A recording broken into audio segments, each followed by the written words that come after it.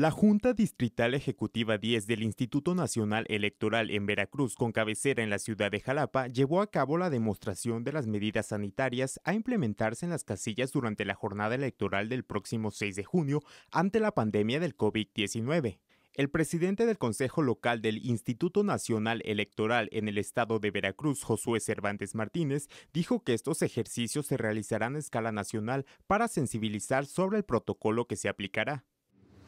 Este proceso electoral tiene como principal finalidad, a través de la gran labor que ustedes realizan, como especialistas de los temas que atañen a nuestra sociedad veracruzana, se informe y dé a conocer la implementación de las medidas sanitarias que el Instituto Nacional Electoral, en coordinación con el Organismo Público Local Electoral de Veracruz, aplicará durante el desarrollo de la jornada electoral el próximo 6 de junio en los 5.836 domicilios en los que se habrán de instalar las 10.825 casillas en el estado de Veracruz. Situación que tiene como eje primordial garantizar el derecho humano de votar a las ciudadanas y los ciudadanos, pero al mismo tiempo el de la salud y por ende la vida.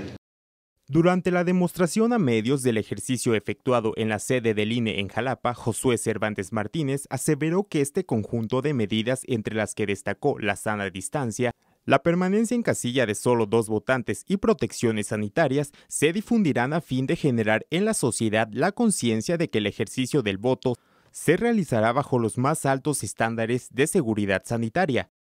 En el contexto de pandemia de COVID-19, que prevalece en el país y en el Estado, resulta necesario prever medidas sanitarias para cuidar la salud de las personas al acudir a sufragar, así como del funcionariado de las mesas directivas de casilla, representantes de los partidos políticos y de, candidaturas independientes, así como del propio personal del INE y observadoras y observadores electorales en su caso. Por ello, el Consejo General del INE aprobó el protocolo de atención sanitaria y protección a la salud para la operación de las casillas únicas el día de la jornada electoral, contando con la asesoría de personas expertas en la materia, así como de la Secretaría de Salud.